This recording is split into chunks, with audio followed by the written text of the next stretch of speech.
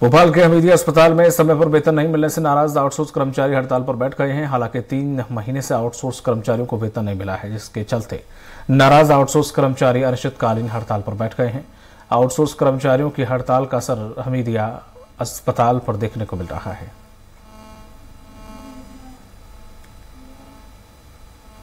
नहीं मिलने के कारण हमीदिया के आउटसोर्स कर्मचारी हड़ताल पर बैठ चुके हैं। आप तस्वीर देख सकते हैं कि इस वक्त राजधानी भोपाल के हमीदिया अस्पताल की मैं आपको तस्वीर दिखा रहा हूँ कि किस प्रकार से जो आउटसोर्स जो कर्मचारी हैं, वह हड़ताल पर बैठे हुए हैं। क्योंकि आउटसोर्स कर्मचारियों की यदि बात करें तो अस्पताल के जो वार्ड बॉय रहते हैं, सफ़ाई कर्मी रहते हैं, जो सुरक्षा गार्ड रहते हैं, वह सभी हज़ारों की संख्या में कहीं ना कहीं वेतन नहीं मिलने से नाराज़ हैं और नाराज़गी के चलते जो हड़ताल है, वह कर रहे हैं। आप देख रहे हैं कि किस प्रकार से लगातार मांग पूरी होने के नारे लगा रहे हैं।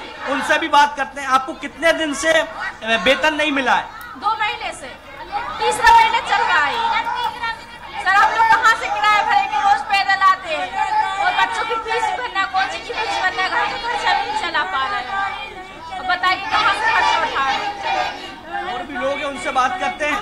वेतन नहीं मिलने से नाराज़ हैं। लिखित शिकायत की इसके पहले बात ने हमने एजाइल कंपनी में दो बार लेटर लिखित में कंप्लेंट की थी कि हमें समय पर वेतन दिया जाए हमारे घर परिवार नहीं चल पा रहा है हम अपने बाल बच्चों की फ़ीस नहीं भर पा रहे और आज हम मकान किराए से रह रहे तो मकान खाली करवाने के लिए मकान मालिक बोलने लगे कि खाली करो। हमें आपकी कंपनी से कोई लेना देना नहीं है।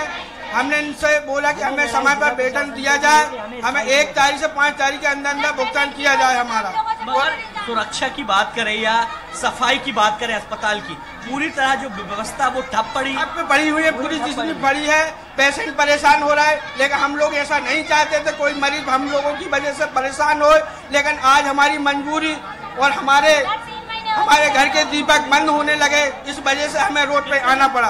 कितने दिन तक हड़ताल रहेगी जब तक हमारी मांगे पूरी नहीं होंगी अभी हमें डीन मैडम ने आके आश्वासन दिया कि हम लोग प्रयास कर रहे हैं हमारी कंपनी वाले ने हमें आश्वासन दिया कि हम लोग प्रयास कर रहे हैं। हम बहुत कदर करते हैं बहुत इज़्ज़त करते हैं हमारी डीन मैडम की हमारे कंपनी वाले जो भी सीनियर अधिकारी हैं लेकिन हम लोग मजबूर हैं।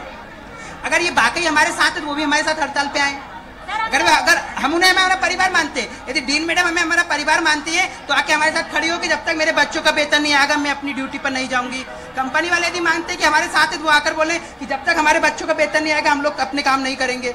तो जो लोग अगर हम आश्वासन से मानने वाले नहीं है जिसको लगता है कि हमारे साथ है तो हमसे आके हमारे साथ में खड़ा हो। चाहे कंपनी वाला हो, कोई सीनियर अधिकारी हो डीन मैडम हो, हम बहुत कदर करते हैं, बहुत इज़्ज़त करते हैं। लेकिन बाकी भी हमारे साथ है तो हमारे साथ आकर खड़ी हो जाए और कहें कि जब तक मेरे बच्चों का वेतन नहीं आएगा, मैं अपनी ड्यूटी पर नहीं जाऊँगी। तो ये थे आउटसोर्स कर्मचारी जिनका साफ़ तीन महीने से जो वेतन है वह नहीं मिला है जिसके चलते यह जो आंदोलन है ये प्रदर्शन है वह जारी है। हालाँकि इसके पहले लिखित शिकायत आउटसोर्स कर्मचारी ने तमाम अधिकारी को की थी मगर अभी तक सैलरी नहीं आई है जिसके चलते जो आंदोलन है जो प्रदर्शन है वो आउटसोर्स कर्मचारी का जारी है। हालाँकि हमीदी अस्पताल की यदि बात करें तो जिस प्रकार से आंदोलन चल रहा है, प्रदर्शन चल रहा है, जिसके चलते हमीदिया अस्पताल की जो स्वास्थ्य व्यवस्था की बात करें या साफ़ सफ़ाई व्यवस्था या सुरक्षा व्यवस्था की यदि बात करें, पूरी तरह ढप पड़ती हुई दिखाई दे रही है।